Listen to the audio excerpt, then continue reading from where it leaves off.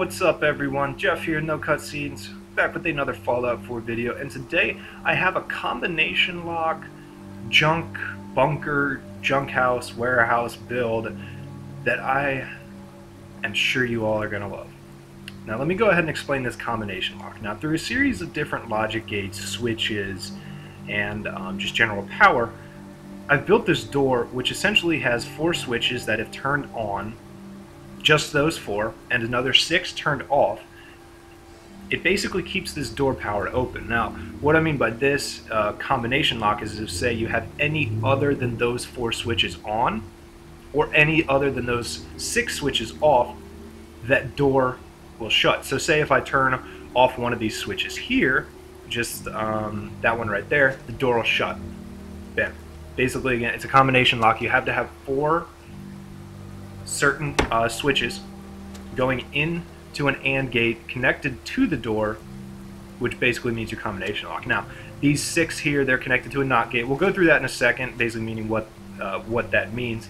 But again, if those are turned on, any one of them, it'll shut the door. So essentially it means that nobody can get in except for you, because you're the only one who knows it. Now, it's also attached to a siren, and the siren itself is attached to fireworks, and a builder that we have back here. Now, what will happen is if the siren is turned on, say by one of your defenders, the door will shut and everything that is attached to the siren um, will uh, either turn off if it's connected through a series of logic gates, which I'll, I'll show you, or it'll turn on like the fireworks. Um, basically, the way that you do the uh, Siren is very easy, and I'll show you that. Um, I'm going to be doing a little bit more on logic tutorials, that just this one ran a little bit long. I'll show you how to do stuff where if, say, something turns on, other things turn off automatically.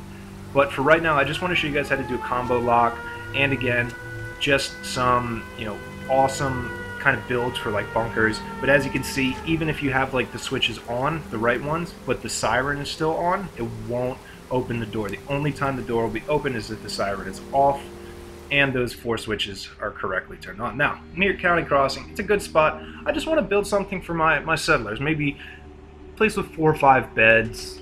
And since we have like the warehouse, which I fucking love, and the boxcar, let's go ahead and do with that. Now, this is a nice area here over in this side. You can look out down the road, you can look over there, check in on your main settlement and everything. And I started off the build just with the boxcar. It, it's very easy to build with. I, don't know why. I, I, think they just did a really good job um, because it has a bunch of snap points. Most of the ones with supports kind of go everywhere. You, will see me here messing around with it. It's just I don't know why I couldn't go up into that hill, but um, yeah, who, who knows? Sometimes EFL it's just it's it's finicky. But in a second, we'll fix that. We'll remedy it. Do not worry. But what I wanted to do here was put one of those power doors, not one of the concrete ones, but the wooden one, on the side of the boxcar here. So the only way you could get into this building, this little junker, as I call it, because it's made out of junk as opposed to concrete, is to go through this power door, which of course will have those combinations, switches, and the siren up top. Now, we'll close it off here so that you know, basically, the only way you can get in is through this power door. I don't want a back door. I want literally just the power door to be open all the time except when there's a, a raid or something bad. And we'll close this side off here. And again, like I was saying, I love the boxcars because they'll snap to the existing structure pieces. So it, they just work out really, you know, really well. They're very resource friendly. They're also not that big as far as what um, like space they take up but they give you a lot of space on the inside. Like you can make an entire functioning uh, house inside one of these if you want to. Now this is where I'm going to do the multi-select just so that we can get these other floor pieces put in place. Now it, it, it's just for this right here. That's the only time I use it. We could have used one of the stairs, but I wanted to use elevators because even though the elevator is only going to be one floor and it kind of takes a while to get up there, it's just fucking cool. And they gave it to us in this contraptions expansion, and I feel like it just fits the whole kind of junk style. You know, it's all based on grid, electrics, whatever. Might as well go for an elevator. So, yeah, we're going to do that in a second too. I'll show y'all how to build elevators pretty efficiently because I haven't seen a lot of elevator builds, and I don't know if people, again, don't know that the warehouse you know will snap to it or not, but it will. So yeah, we'll do that really quickly. Again, we're just fleshing out the rest of it. I want it to be big enough to where I can have maybe even some uh, manufacturing machine items, uh, some conveyor belts if needed, or just a big enough area to have crafting in a couple stores. So again, this build is for y'all if you're going to do something like an actual settlement with stores and everything, this will be perfect. If you're going to do a whole factory where you just want it to be very secure, this is also great. And I highly recommend getting these fuse boxes. They're a mod. Um, I forget the actual name of the mod, but the abbreviation, of course, is DFEP. They give you 100 power. They're tiny. They work. They don't use barely any resources. They're not like that fusion generator where you know it's going to take up half of a floor. So yeah, it, it it's just get that definitely. Now, like I was saying, we're going to use the powered door here, but first we need a little uh, little porch, just something that we can walk up to, and an area for us to put our switches where we're actually able to you know, get up to them, press them, and use them. Now, I wanted to use the scaffolding just because I love the way the scaffolding looks off the boxcar, but you can't snap the scaffolding to the boxcar itself. You have to actually snap one of the original wood shack floor pieces, and then you can snap the scaffolding to it. So I, I don't know why that's just how you have to do it. And so we'll make a little walkway, little path, and then I wanted to have where that like wing white thing on the orange boxcar is.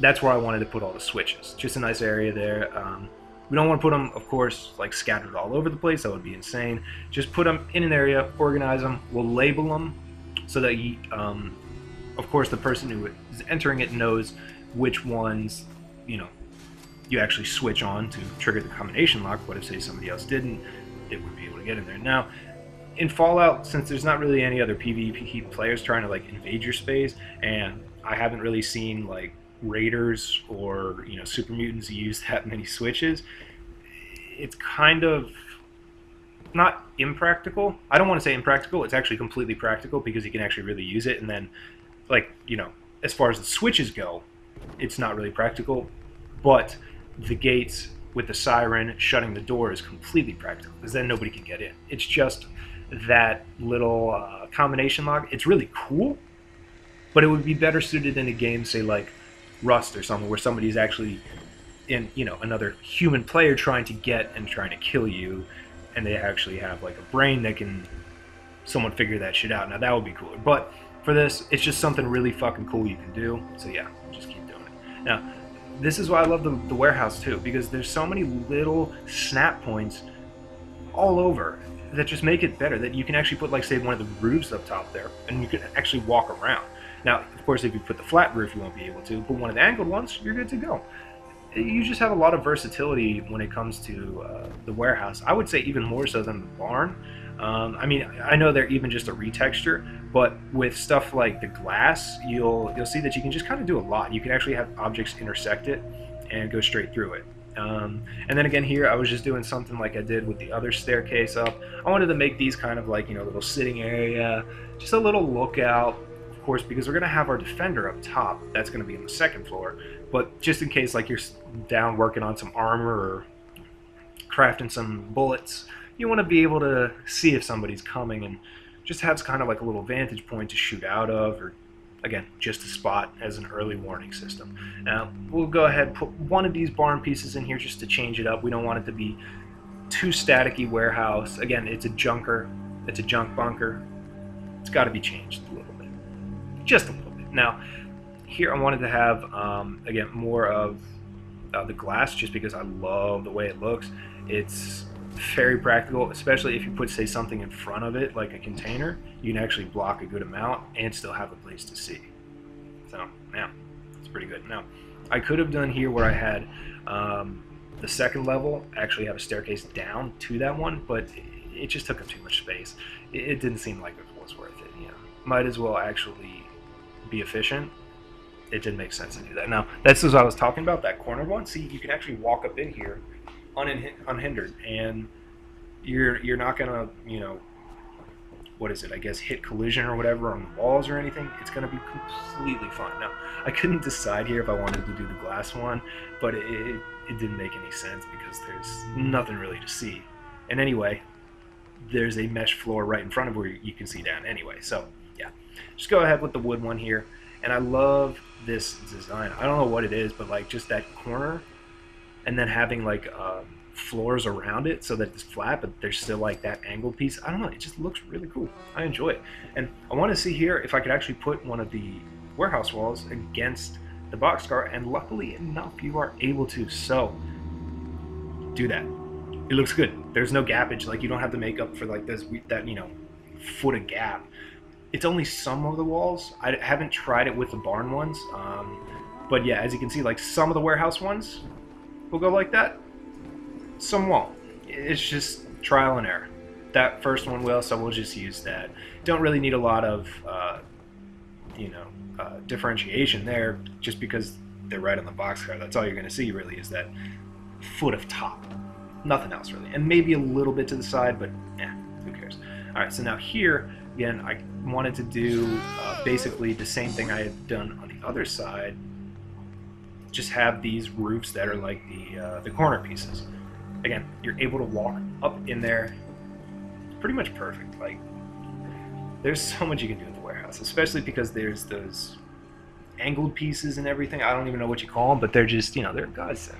I'm really really happy with everything uh, from contraptions. I mean, even though of course like now seeing the manufacturing extended mod, the upward ramp mod, there's a lot that more that they can include. But the base of what they did was just enable us to have actually functioning like settlements with these logic gates and different machinery and manufacturing items. Like it's so good. So yeah, I mean, there's a little bit of intersection, but I'm completely okay with that. It doesn't bug me. No, that's fine. Yeah. Honestly, I think it looks kind of okay because it's like, oh, we had to push this through the sheet metal anyway eh, it works. So now we have a little lookout on that side as well. We can check on our crops. Got the nice window on that side so you can check out to the road, see if we got any invaders, or, you know, just make sure our uh, supply caravans are doing all right. So, and as I was saying here, it looks really good, like when you're actually, you know, up here. I, I love the way the angled roofs look, and especially if, like, they're done at two different places, it looks really solid. So, good for me. all right, now next up, we got to put our defense. This synth guard I forget uh, what mod it was, but I'm not going to try it. It's kind of creepy. It's like a mannequin that actually you know, comes alive. We could have used a big one here if we want to have like a, I guess just a taller lookout, but the smaller guard post is fine. They still have pretty much like a, think got like a 270 view.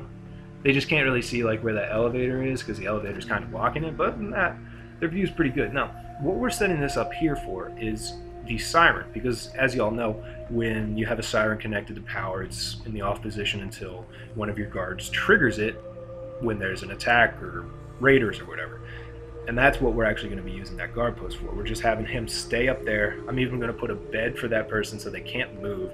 I'm not going to have any other guard posts in this settlement because again i'm just doing like this one as a small single uh, building settlement. So really, he stays up there the entire time, and literally, it's just an early warning system. So yeah, because I don't think they can use the elevators, um, like the NPCs can't. So I just fast traveled away and back, and my person was up there at the guard post. But yeah, here we are, just finishing off the elevator. Now this is what I was saying: the warehouse pieces snap to the elevator so well. Some of them don't, but it's like you know, three fourths of them do. So definitely use that. If you have an elevator that's just kind of bare, it looks silly. It, it looks just like it's not made well. I mean, sure, maybe you want to be able to look out and you want to have some views, but you can do that with the glass.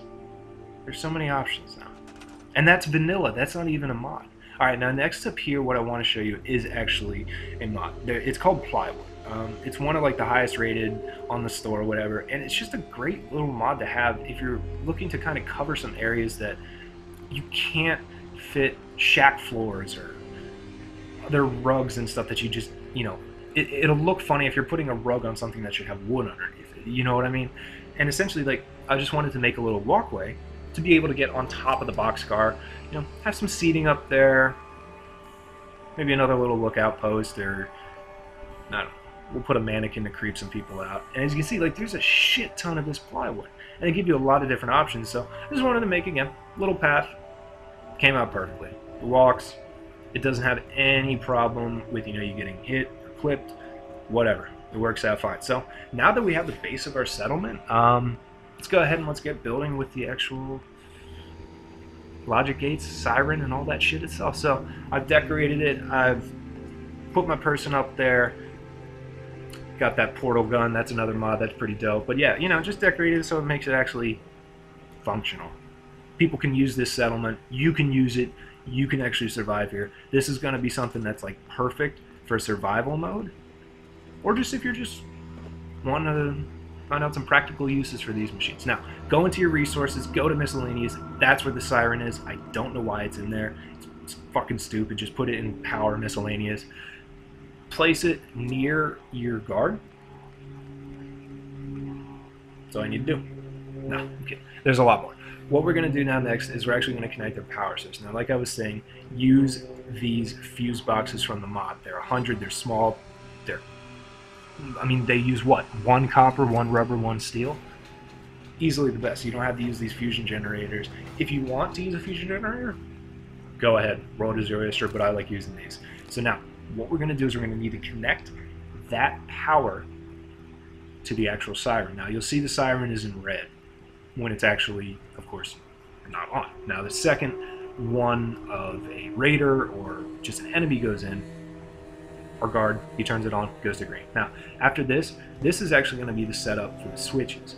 We're going to run this not to the to the siren, but actually to the power source, because the power source is um, where you're going to get, of course, all the power for the switches. Now, I did place it on the siren, but as you can see, I took it away, put it to the power source.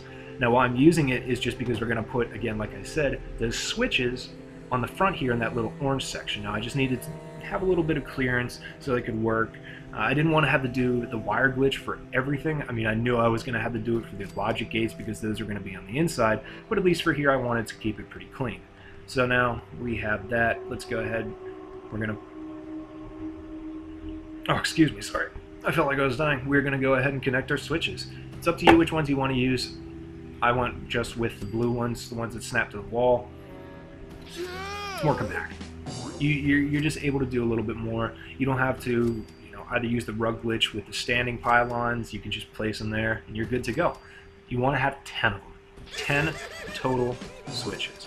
Now, each one of these, you can't chain, you can't do it in parallel. You're going to have to connect it individually to that power conduit. That's just how it is. Because again, if you connected it in parallel, if one of them switched off, all of them would switch off. And if one of them was on, you could, you know, of course, change the rest of them but then say if one of them after that chain got switched off, it would switch all of them off. So again, very easy. If you can't get clearance to the bottom ones, all you need to do is put another conduit down a little bit, run power from the other conduit that you have above it to that one, connect that to the switches, and you're good to go. So then you're going to see me do that here. Again, it's really quick. It's really simple once you actually understand like what what, what logic gates do. I definitely recommend reading like even just the Wikipedia, because it's very easy if you understand what input and output is. I mean, it's super easy. Yeah, I can't even explain to you how easy it is. Now, the ones I want to do for my combination lock, those uh, are going to be the first one, the middle top one, the middle bottom one, and then the far bottom on the right. But first of all, let's go ahead and get into our logic gates. Now, logic gates are, they can get very complex, but they're actually very simple. It's just, it functions as sort of binary, if you think about it. And the ones we're going to use for the four that we're actually going to have green as far as our locks, we're going to use an AND gate. And this means that if all the inputs have power, it transmits power out. Now, what we're going to have to use also is a NOT gate and then another AND gate. Now, the NOT gate is going to go into the AND gate. That first AND gate that we placed is also going to go into the input of that second AND gate. Now, I know it might be a little bit confusing, but really all you have to do is know that you have an AND gate, a NOT gate, and then another AND gate. Just place those. Now, what we're going to have to do is we're going to have to find the four switches that we want to use for our combo lock, and we're going to have to wire those to the input of the AND gate. Now, if y'all are familiar with the wire glitch, eh, I mean, it's really easy. You basically have to kind of line up where that wire is while you're also looking at where the conduit is. Press Y and you'll see that you don't actually grab a wire, but you hear the wire snap sound. Now you can move objects around after this, but then essentially again place it to the input of the first AND gate. Now the input is the red, output is black. Pretty simple. And you're going to want to do this four total times with the switches that you want to be your combination lock. Now Valen, she, uh, she keeps getting in my way, that stupid bitch. But like I said, I wanted to do the bottom right, bottom middle, the top middle, and then the top far left. So yeah, that's just how I wanted to do it. It's completely up to you. I will do the wire glitch to the rest of them from the logic gate input. It's just going to be a little easier. The first one though, I did have to start off with one of the actual switches because there wasn't any input going to the logic gate yet. Now, again, we're just going to do this four times total. Whichever switches you want, they're going to go into the input of the AND gate. All right, now that's that's it for your actual uh, powered combination lock. Now the next six we're going to put into that NOT gate. Again, pretty simple. Four that you want to use so that when again when those are switched on they will open the door. Those all their outputs they go into the input of the AND gate. Now these six that you want to have off so that again if you switch one of them on it shuts the door it breaks the seat combo whatever those go into the input of your NOT gate. So I'm gonna go oh gosh Valencia you are a bitch I'm gonna go connect again all six that I didn't connect to the AND gate to that NOT gate. And we're doing the wire trick just again. First time to start off from one of the switches. After that, we are going from the logic gate. It's just easier. All right, so I'm gonna go ahead, I'll skip through it again. The six that you do not choose to use for the combo, they are gonna go into the input of the NOT gate and the four that you do use go into the input of the AND gate. So now I've got all six into the NOT that I'm not going to use, and four into the AND that will, you know, power the door. Let's go ahead and just number them. Makes it very easy. I mean, at least in the first stages of this, until you remember like what your combination is just by pattern, keep it in your mind as, you know, for me it's 0, 2, 7, 9. That's it. I mean, you can number these whatever you want, so you can have the combination like literally be whatever you want. But I just wanted to do it simple. So then, after you have that done, turn off the six that you had connected to that NOT gate. Keep the four on that you have connected to the AND gate in the on position. Now, this isn't going to actually do anything yet because we haven't finished the siren uh, uh, circuit. So now we're going to go ahead and do that. So first, before we go up top, let's go ahead and connect the output of our first AND gate into the input of the second AND gate. So again, black first AND into the input of the second AND. And then we're going to do the same thing with the NOT, the output from the NOT gate into the second AND gate. Last up, all we have to do, we take one more NOT gate, not the one that we've already built, but a brand new one, and we connect that to our actual siren. So the output of the siren, just the output of the siren, not the actual power or anything else, the output of the siren goes to the input of the NOT gate. So this siren here goes to the input of the NOT gate. Now, we'll place this, let's place it on the wall over here. Yeah, that'll be a good area. Okay, so now again, output of the siren to the input of the NOT gate, so the red one. Red is input, black is out. And then we're going to go from the black to the input of that second AND gate we have down below. So again, the output of the NOT gate that is connected to the siren is going to go into the input of our second AND gate down below. Now, I have to do the wire glitch again, so I'll down I'll go down here. Um, luckily, it actually reaches from down here, so I don't have to like delete anything. I'm so glad that the wire glitch is there. If it weren't, most of my settlements would not be built, to be honest. I'm just saying that. So, wire glitch here. Go outside. Connect again. The input of your second AND gate to the output of your second NOT gate. And the second NOT gate again is the one that is connected to the siren. After that, take the output of your second AND gate, connect it to the power door, and you are set. You are good to go. It is done. So now, I mean, I know it looks a little bit, you know, cluttered, whatever. Who fucking cares? It looks good to me. So again, if you have one of your uh, switches off, or if one of the on switches is off, one of the off switches is on that shouldn't be, that door will close. So nobody can get in except for you. You are the only person who has access to this place. Now, you know, here I got a, I decorated it a little bit so you can see it a little. But again, I just wanted to show that you can make a fully functioning bunker, junker, whatever, with this awesome door. So now, say you got a raider attack, your defender over there, your watchman, he goes, turns the siren on. The siren then powers the door down, and even though we have these switches on here, in the right order, in the right combination, it's not going to work. It's going to shut down, no matter what you do. Now, the only way to get it is once he turns the siren off. That's it. So thanks for watching, y'all. Oh, I love this. Let me know what you think. Bye.